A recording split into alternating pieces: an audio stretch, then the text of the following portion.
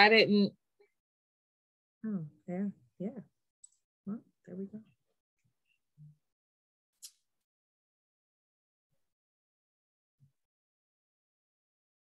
Good afternoon or good evening. Um, welcome. My name is Midra Surratt and I'm with Parent Information Center of Delaware. Joining us today is, or this evening is Cindy Brown, Education Associate with the Exceptional Children's Work Group, the Delaware Department of Education. Throughout the year, the Delaware Department of Education hosts a number of meetings for families, caregivers, community members, and professionals to provide feedback on the state performance measures as mandated under IDEA or the Individuals with Disabilities Education Act. Parents, community members, and professionals who serve children are essential in improving systems and outcomes for children in Delaware. The Department of Education is hosting a number of sessions, such as the one this evening, providing an overview of each indicator with opportunities for you to make recommendations to the state on their policies, procedures, and practices. Today, we will review and discuss indicators six and seven, which will focus on services provided for preschool children with disabilities in settings with children without disabilities, and improving learning outcomes for preschool children with disabilities. There will also be an opportunity for questions and for feedback at the end of the session. I'll now turn this over, the presentation over to Cindy Brown. Welcome, Cindy. Thank you so much, Midra, for having me tonight. And good evening, everybody, and welcome. I am so glad that you're here and that I have the opportunity to uh, speak with you for just a few minutes. I do want to let you know that um, my slides that I'm going to be sharing are uh, pretty heavy duty. There's a lot of data on them. I'll do my best to make them uh, understandable, but this is a lot of uh, complex data, but we'll, we'll dig in. So I'm going to share my screen. And Midra, can you see my screen? Okay. Yep. All right. So as Midra said, we're going to start with indicator six, and that looks at preschool environments or where children with disabilities with IEPs are getting their services. Um, and one of the things we really want to talk about are moving the needle on inclusion. As Midra said, uh, we really want to look at, at expanding the opportunities for children with preschoolers with disabilities to be served and participate in settings with their non-disabled peers in their community where they live and uh, will go to school. So what is this indicator six? Uh, the federal government, the Office of Special Education Programs, also known as OSEP, requires us to measure the percent of children with IEPs ages three, four, and five who are enrolled in a preschool program. And then it's broken down into three different measurements. So 6A, we have to measure the, the uh, percent of children receiving the majority of their special education and related services within an early childhood classroom. Um, and then 6B, we have to look at the children that are attending either a separate special ed class where the majority, maybe all or the majority of children in that class do have a disability and do have an IEP, or a totally separate building, a special school, if you will, or a residential facility. Now, for preschoolers, the last three reporting periods, the last three years, we have not reported any preschoolers being served um, in a residential facility. So we have to set these targets, things that we're going to try to strive for for the next five years. And OSEP has put a few new requirements in place. They've added a 6C, which is now we have to report out on the number of children that are getting their special ed and related services in their home setting. And also, states now have flexibility to set individual targets. Before this, we had one target for that collective age group of three, fours, and fives. And now we're allowed to set targets for three-year-olds, four-year-olds, and five-year-olds. The other change is how we actually collect and report the data. For many, many years since this has been enacted, five-year-olds in kindergarten were included in this data collection and reporting. And that has changed. And that has made an impact. When we pull out our kindergartners from our current or past data, it does look like many more of our preschoolers are being served in those separate or special classes, not in those uh, inclusive or integrated settings. So let's just talk for a second about some national data. Um, this is from something called OSEP FastFacts. If you just Google that, OSEP FastFacts, it's a great website. It has some really um, uh, different pieces of data that are chunked up and are pretty user friendly. And I think as a parent, I would really want to take a look at this. So this is um, the national data versus Delaware data around all of the different uh, possible disability eligibilities or categories. And so on the left-hand side, that's the national data all combined together. And we're talking about just under a million children that are preschoolers that are served under this uh, program across the United States and the territories. On the right-hand side is Delaware's data, and this is from school year 1819 the way we report the data, we're kind of always looking backwards by the time we report it. We're kind of looking at data that's a little bit old. We can look at live data, but what we have to report on for a reporting period is always looking backwards a little bit. But you can see, for example, that during this time period, we had 402 preschoolers with autism. Most of Delaware's uh, little guys are identified under developmental delay, so over 1,500. And then we had 619 under speech language. And then you can see much lower numbers in the other categories. For example, visual impairment, 11, um, a traumatic brain injury, excuse me, is 11. Uh, so much smaller numbers there. But again, OSEP fast facts, really handy information. Now let's look at the national data on these preschool environments. Um, so this is a bar graph, and at the top, it kind of gives you the legend or the code. Um, the first one, the green schoolhouse, is the number of children attending that regular early childhood program where more of the children are uh, without a disability, do not have an IEP, and the kids that do have an IEP are getting their services right within that classroom. We call it embedded intervention.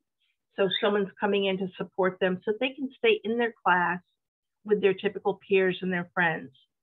Moving down, the, the red tall building um, is where a child is going to a regular program. However, they're being pulled out. That's we, we call it pull out services. They're coming out to get the majority of their services somewhere else, maybe down the hall in the OT's room, or maybe down the hall in the speech therapist room. The yellow building are those separate settings, those special settings the blue is what we call service provider location, meaning they are getting their services in some other place, maybe an outpatient clinic, maybe again down the hall in another room, but they're being taken out of their regular classroom. Um, and, and, again, this is, it's tricky because that doesn't necessarily mean it's wrong or bad. Each child's plan has to be individualized. And for some children, they may need a separate location or they may require a separate special education classroom. Each determination has to be based on each individual child's needs. But I think the data is telling us we probably can do better. We should be doing better. So when you look at the three-year-olds, you can see that um, some are being served at home, quite a few in a service provider location, but we don't have very many, 36%, that are being served in that regular classroom where the services are being brought in. And you can see as we go across time, when we get to the five-year-old, it's up to 52%. But remember, that includes the kindergartners. And at, we see in the data that when children get into kindergarten, most of them stay in their kindergarten classrooms and services are, are brought in or they're supported in a different way. So this does say that we have a lot of work to do in this area. So now let's focus on Delaware's data. This is historical data looking backwards. It's a bar graph again. The green bars represent our actual data that was reported by the different school districts into our statewide data system. The red dotted line represents what we had set as our targets, what we thought we could achieve, or our benchmark. As you can see, it was an incline over those years we were hoping for. With in 2018, we had hoped that 50.5% of our preschoolers would be served in that regular early childhood, that green setting. Our data said we made it to 47.9. Now for last year's data, we kept the target the same. We had to do one more year because now we're in a big time period of setting targets for a whole another five-year time span. So we did keep the target the same for uh, FY19. Now we'll look, we'll look forward a little bit. It's still older, but it's still going forward um, from 2017 to 2020. This is just a different way of looking at the data. If we look at the green line, that's all combined, three, fours, and fives. The data is pretty flat. We don't see a lot of movement, uh, not a lot of progress on those inclusive environments. Same with three-year-olds. In fact, we went down a little bit with our three-year-olds. Four-year-olds, we went up a little bit. They're a little bit above that green line. And then the five-year-olds between 19 and 20, you can see are at the highest. So we've been doing a lot of work with one of our federally funded TA centers, um, known as the IDEA Data Center. Their logos in the bottom left of the uh, screen. And this is what we've kind of landed on right now, but we still need your opinions and your thoughts. These are our proposed targets for the future. So you can see this black dividing line down the middle. So here's our data, our actual data that we reported for the prior years. And this does take out the kindergartners. Looking at this data takes out the kindergartners. And so when you think about that target of um, 50.5, you can see that we're, we're pretty far off of that mark with our actual data, especially when we take the five-year-olds out of the mix. So now we're looking at our proposed targets going forward, and we're trying to be much more conservative, much more realistic, and trying to set a target that is achievable. So we're starting with 29 as our baseline, and we're also proposing again that we do these individual targets as we are allowed to do now. We think that will be a much more accurate and clear way to report the data and also show us where we need to do the most work. Uh, we can clearly see that we have a lot of work to do with three-year-olds. So if we set this as our baseline, we are proposing to keep the baseline um, the same for this new starting point in 2021. And we are allowed to do that. And then we're, we're going on a very gradual incline upward so that by 2025, we land here. Uh, OSEP reaffirmed today, we were in a meeting with them, uh, and they reaffirmed today that as long as you make improvement over your baseline, that's what they're looking for. Um, but they also were very clear that they want input from community folks, stakeholders, parents to weigh in. Similar thing with, in, uh, with age four and five, we're keeping the uh, target the same for two years, and then a very gradual incline. And then the same for five-year-olds. So we're really hoping that we can roll up our sleeves and uh, make some gains and, and do better uh, while being uh, rigorous yet achievable. So I'm going to go on to the next one. Um, this is indicator 6B, and this was, would be the yellow building. And what we're really looking for here is a decline. The other one we wanted to go up. In this one, we want, and you can see our target line, the red dotted line, we were hoping to go down and serve less children in those separate settings. And then the green bars are our actual data and I'm just going to use 2018, we were hoping by 2018 we would be down to 31%. And actually, our data was 37.4. Um, hey, Cindy. Go ahead, I'm, I'm, sorry. I'm sorry. I didn't want to interrupt, but there was a question Sure. Um, that was in the chat, and I, I think it's um, re relative to the previous slide. Um, and the question is, why is the target the same on the four and five year olds? Um, and I just didn't want us to go too far without sure, and, and, not have an opportunity. No, stop me anytime. Stop me anytime. Okay. question. I think um, when we were looking at all of the different years of data and the percentages, we felt the districts also felt very strongly that we still don't know the final impacts of COVID. Um, you know, children have been out of school for so long. They've been in and out this year. You know, classrooms are in for a week, then they're closed for a week. So there's a, been a lot of concern that this pandemic is going to have far-reaching impact even beyond 2021.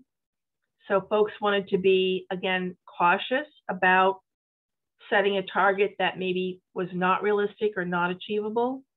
So I think that's the, the short answer for that one. Any follow-up or further discussion on that? Nope, thank you. Yeah, jump at any time. Uh, yeah, I can't really see the chat very well while I'm, I guess I could if I open it in a separate window. No, uh, no problem. We'll we'll watch it. We'll monitor okay. it. All right, thank you. Yeah. Um, all right, so this is a similar graph, and I'm I'm going to go into a little less detail here since I set it up on the previous one. But here are the three to fives, and we see we we ended up going down a little bit, um, but again, not significantly to to meet our target. So it's still a fairly flat picture. Uh, and you can see we had a dip with the five-year-olds in uh, 2018, but then it kind of spiked up a little bit and then leveled off.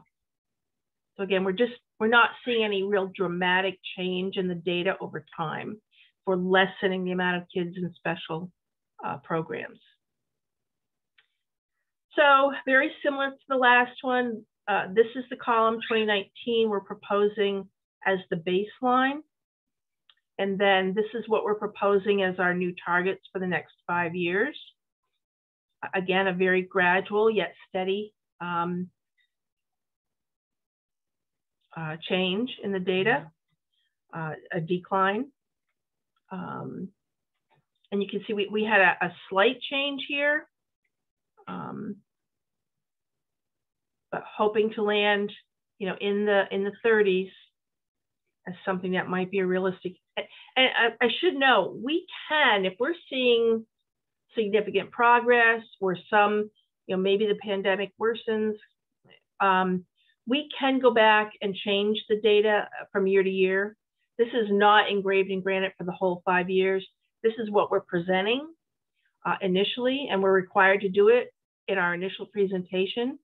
But if we're seeing something in the data that's telling us don't stay the course, you need to relook at this, we are allowed to do that as well. So I'll pause there for a second to see if there's any questions. Yes, there's one other question. Is the 42.1 correct? Yes, to, to my knowledge, it is.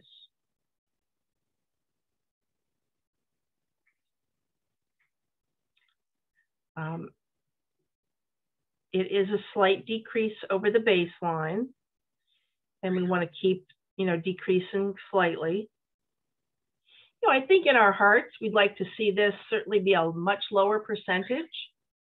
Um, I know personally I would, but I think looking at our history um, and, and the lack of moving the needle, that this might give us some, some chance of meeting our target um, in, in, a way that OSEP does approve of. So um, there's a follow up, and I'm not sure if the if um, the question is referring to the first row for ages three to five in that 2025 column, the 42.1, or if we're referring because it's an increase rather than a decrease. Um, or if we're looking at the 42.1 for 2021, because the follow-up question was it's an increase. Okay, so if we started in 2019 with 43.2 as our baseline, by the time we get all the way through 42.1 is a decrease over the baseline.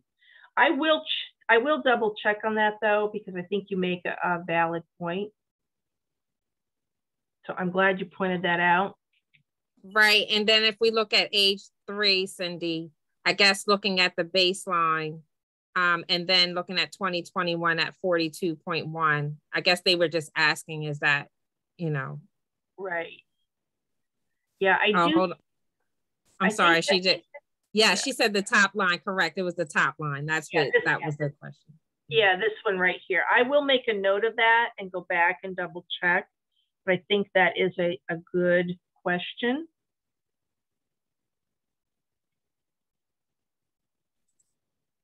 Thank you. Absolutely. And again, that's if we were to go with one target for one, you know, the, across the whole age group. So far, the, the sentiment is that we go with individual targets for each age group and not a, uh, we call it an aggregate target. So, um, and I think that would be wise of Delaware to do. All right, moving on. So 6C is the new one. And this is reporting on children that are served in the home. And Delaware's uh, historical data shows that we, once they go to the preschool program and leave the early intervention program with Child Development Watch, quite, quite a, very few children are being served in the home setting. So this is the combined data. This is three-year-olds, and three-year-olds are the highest percentage that we serve in the home, but it's still you know, just a shade over 1%. Uh, four-year-olds, you know, half a percent and lower. And then five-year-olds, you know, the last few years, it's almost zero, a handful. Um, couple flexibilities with this. If your state has less than 10 children in their data count that are served at home, you don't even have to set targets. Delaware's data, the trend data showed that over the last three years, we've had between 14 and 18 children served in the home. Uh, so we do have to set a target. We are allowed to set a range of um, targets. So this is what the group uh, came up with before they let us know about the ranges. So again, you can see by the time we get to the end of this, we're talking again about 0.2% of four and five-year-olds being served in the home and 0.7, but we could have this be a range of like 0.7 to say 2% or 0.2% to 0.8%. So I think that's an important piece um, to think about if, if, you know you're interested in a range. Um, that's certainly something Delaware could could consider. Um, and this is the first time they've given us that sort of flexibility in these sorts of targets.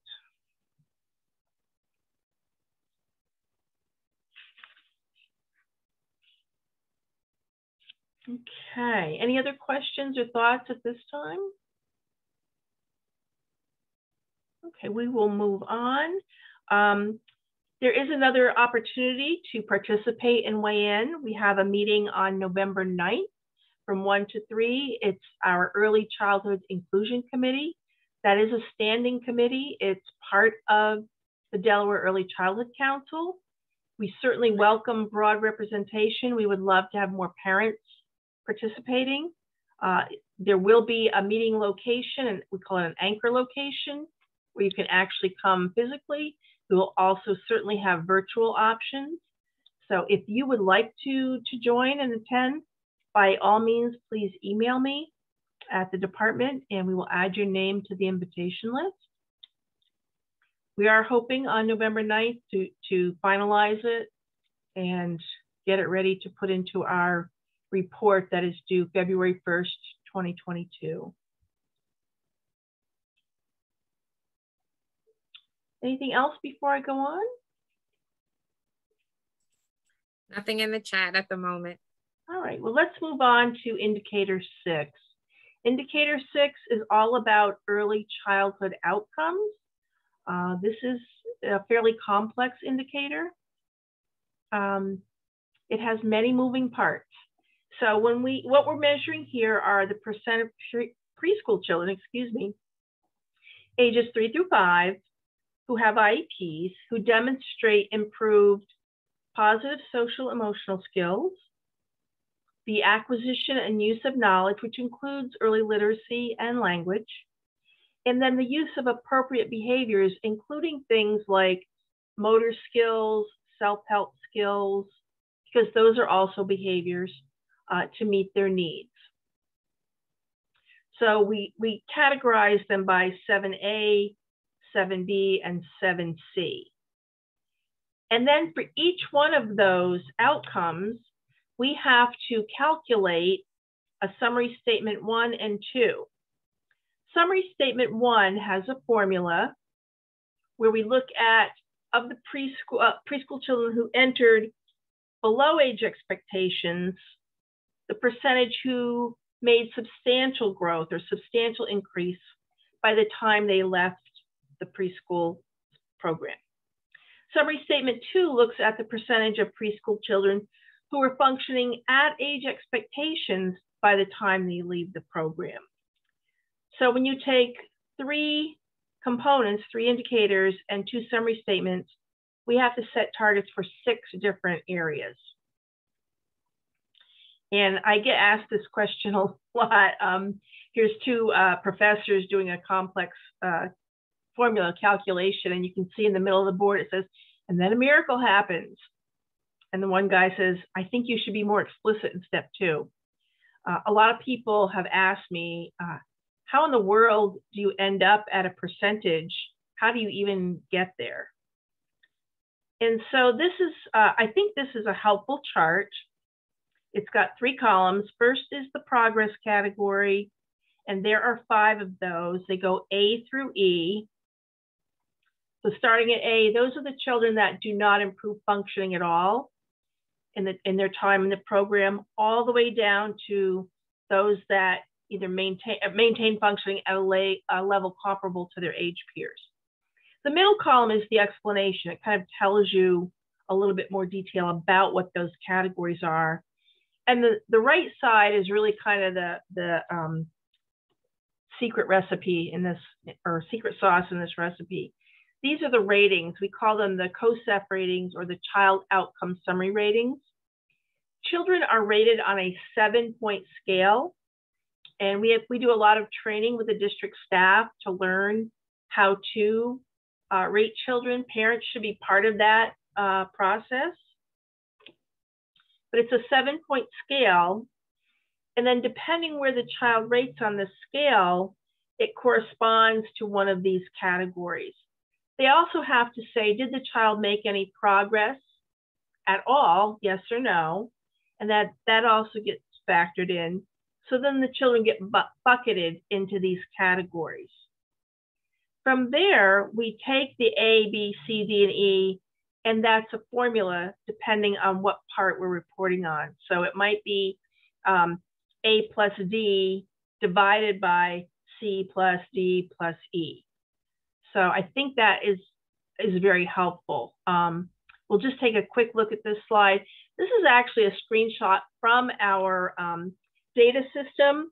Once all the districts input all of the individual data on each child with their individual ratings, it gets pulled in through the business rules through a, a coding program. It gets it's excuse me, it gets pulled into this report. And so on the far left, uh, you can see category, and that is the actual outcome. So we're looking at 7A, positive social emotional skills. Then the actual progress category, A through E. And then you can see an SS1 and SS2, those are the summary statements.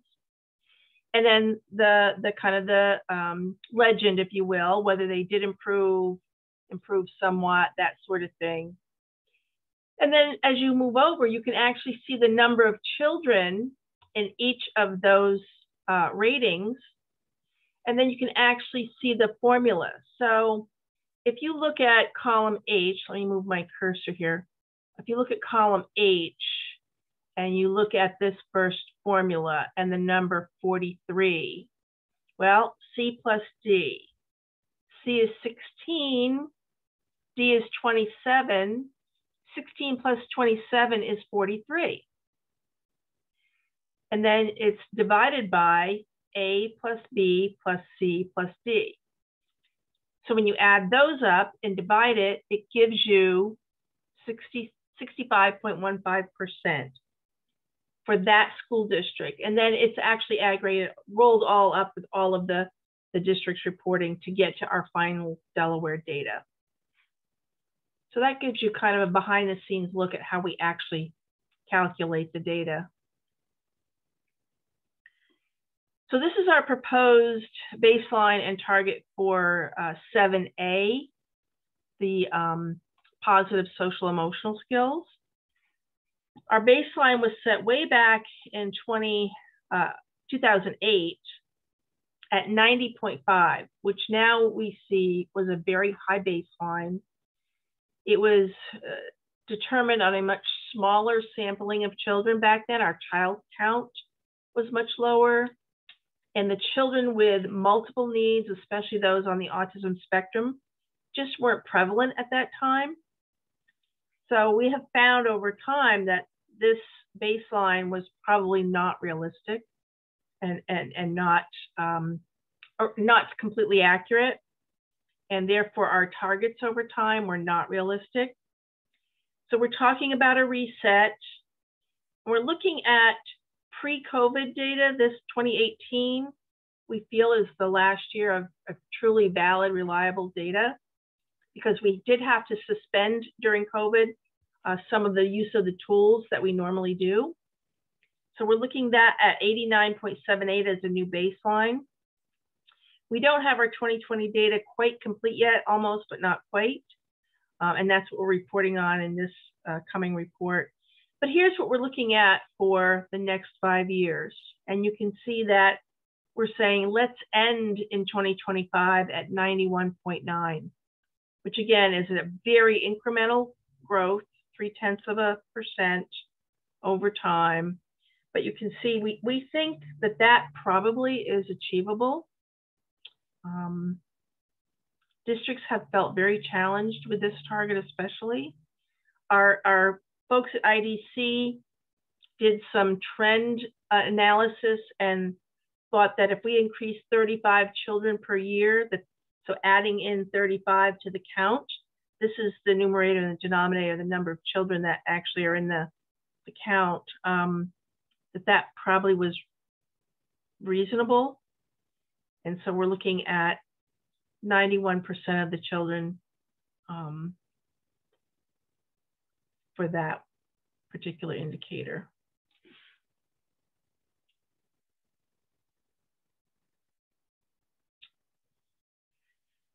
So looking at 7A2, summary statement two, uh, the original baseline was 60.2. Uh, we're looking at, I mean, you can see quite a difference here. This was our data from 2018 and thinking this should be our new baseline of 50.95. 2019, we think was a COVID, COVID issue in, in part. Um, and then we're looking at, again, a gradual incline up and ending at 59.9. How are we doing on time, uh, Midra? We're at 6.30. Um, so I guess about five ten minutes. Yeah, I, I can I can uh, do five minutes. Okay. I think, you know, if everybody has this and can look at it, hopefully they have the the flavor of it now. Um, when we look at 7B1, you know, again, very high baseline to start. This was actually our data in 2018. And so kind of again, a gradual, but, but still, you know, increasing over baseline, which is what we have to do and ending at 90.7. So this is summary statement one for 7B. 7B, summary statement two. And again, these are the kids exiting at age expectation. So we would expect to see a lower percentage of children. That's why there's such a difference like between the 80s, 90s, and the 50, 60. So 54%, um, thinking, you know, this is the baseline, and then we go up in increments and I do admit I'm not a, a statistical or a statistician. So in terms of, you know, we, we do have someone from IDC who is a statistical analyst who has helped us with looking at the space intervals and what's reasonable in a growth model. All right, so that's 7B. 7C, um, this is the use of appropriate behaviors to meet needs. And this is children making that substantial growth. Again, a very high baseline way back. And again, looking at ending in 2025 at 91.7.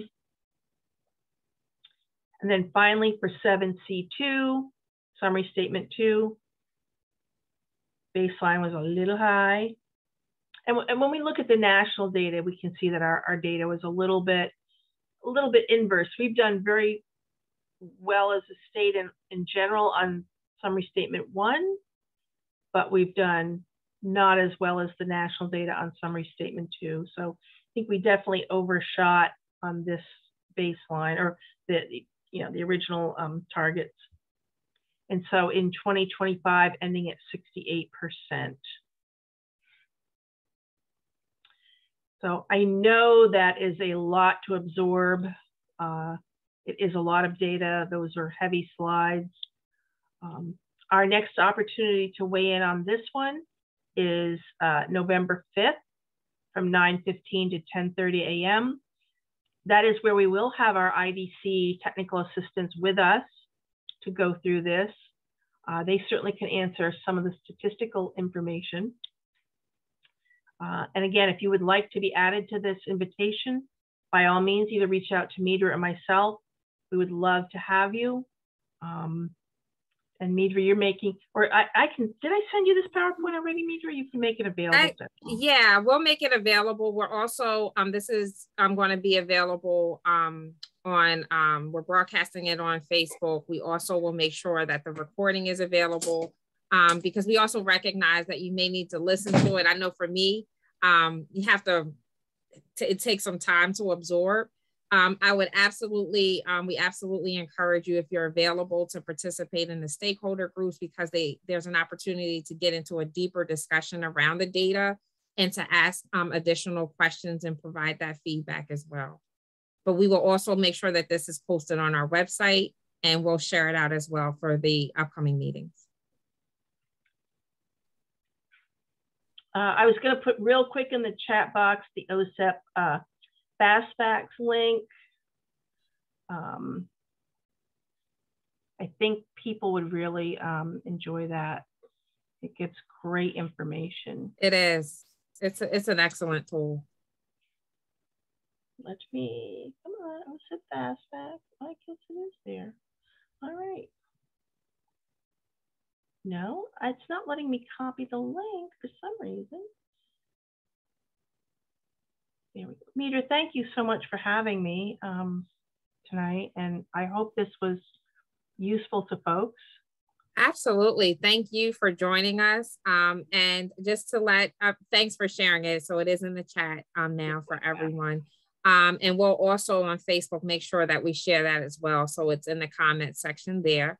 Um, keep, um, please uh, keep an eye out. We will have additional sessions um, from the um, on additional indicators from the exceptional um, children's work group, um, resources work group um, uh, that will also give you an opportunity and it just as um, Cindy shared um, to give you an opportunity for feedback to learn about the indicators, what the department is responsible to for reporting to, to OSEP, but more importantly, to hear your voice and your feedback. Not only looking at this data, but how do we use this information to improve outcomes for our children with disabilities and, and supporting families. So Cindy, thank you so much for taking the time. Um, thank you all for joining us this evening. Um, and again, please um, uh, sign up for our newsletter, email Cindy if you um, have any follow-up questions. Um, and as always, you can give us a call at 999-7394 if you um, have any follow-up questions. Thank you. Glad to be here. Reach out anytime, folks. Have a good evening. You, too.